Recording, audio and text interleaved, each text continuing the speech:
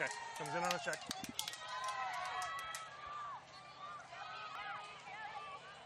Cohen rips it. Cassie Wong accelerating into the end zone for Brute Squad. Yeah, when we think of Shellie Cohen's deep throws, we often think of her backhands, but she just puts so much power behind that forehand, really engages, you know, with her legs. Puts it out in front of Cassie Wong. We get to see Cassie Wong's incredible closing speed just run that out. A lot of players would have had to bid for that, but Cassie just catches it right in stride.